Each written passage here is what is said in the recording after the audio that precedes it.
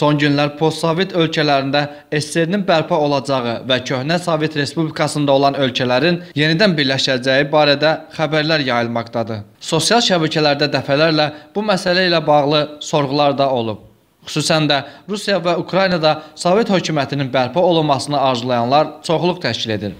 Hətta Rusiyanın tanınmış Levada Center sorğu mərkəzinin keçirdiyi sonrəy sorğularına görə Rusiyalıların 66 faizi SSR-nin dağılmasına təəssüf edir. Belə ki, ötən il bu göstərici 58 faiz olub. Son 10 ildə bu rəqəm 61 faizi keçməyib.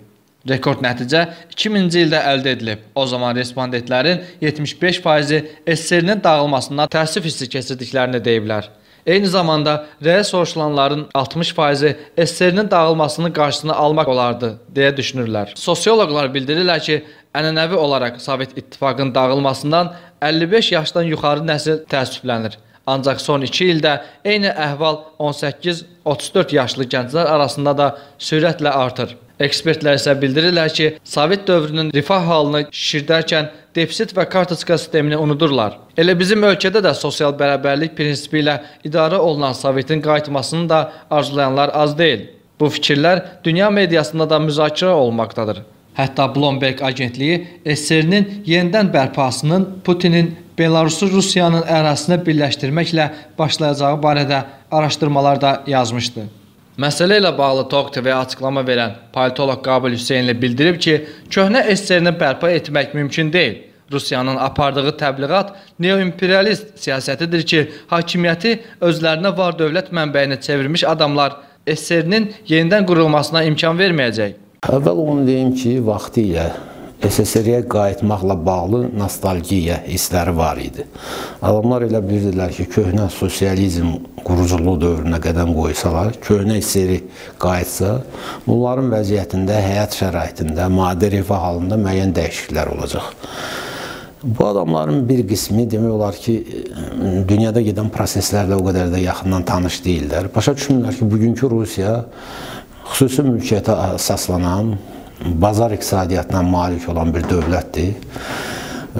Həmin dövlət yalnız xarici siyasətində neo-imperialist, yeni işğalçılıq siyasətini əsas götürən bir dövlətdir və köhnə SSR-ni bərpa etmək də mümkün deyil. Birincisi, bunu rusların özü istəmir.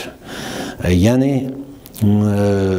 köhnə SSR-nin torpaqlarını geriyə qaytarıb onu bir vahid e, məkanda birləşdirmək arzusu var.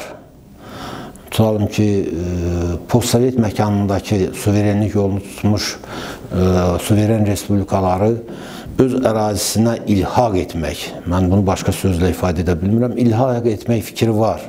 Amma bu, bu cür e, köhnə seriyə qayıtmaq sözünü bu ehtiva etmir özündə. Çünki e, yenidən Çar Rusiyası dövründə olduğu kimi imperialist bir dövlətin işğal altına düşmək, tam assimilyasiya siyasətini yürüdən bir dövlətin e, başçılığı altında necə deyər, yaşamaq, zülmü altında yaşamaq məsələsi meydana çıxa bilər.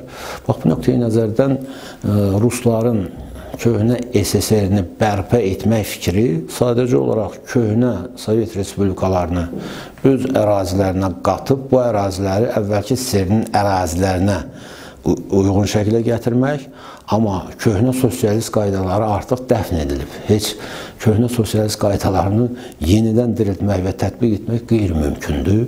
Çünki bunun tərəfdarları çox azdır. Həmin tərəfdarlara da hakimiyyət elitası, hakimiyyəti əllərinə alıb özləri üçün var dövlət mənbəyinə çevrilmiş adamlar heç cürə imkan verməyəcəklər. Ötən ilin sonlarında rəsmi Moskva SSR ərazisində doğulanların və Rusiyanın tarixi və mədəniyyətini bilən, rus dilində danışanların Rusiya vətəndaşlığına qəbulunun asanlaşdırılması qərarını verdi. Bu postsovet ölkələrində yaşayanların Rusiya vətəndaşlığına kütləvi müraciəti ehtimalını artırsa da, politoloq bunun baş tutacağı mümkünsüz olduğunu bildirib.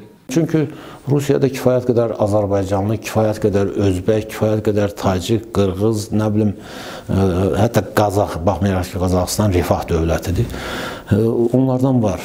Amma bunların çoxu yardımçı işlərdə, hətta qul, Rusiyanın özündə də qul bazarları var ki, qul bazarlarının əsas işçiləri Orta Asiya respublikalarından çıxmış adamlar, hətta bəzi Azərbaycanlılar da var. Rusiyaya gör maraqlıdırsa, orada hələ də Rusiya vətəndaşlığını almamış, almaq üçün mübarizə aparan və biznes, kommersiya sahəsində uğurları olan, Rusiya cəmiyyətinə ciddi surətdə adaptasiya olunmuş, belə insanların Rusiya vətəndaşlığına qəbulunu, qəbuluna olan süni maneələri aradan qaldırmalıdır.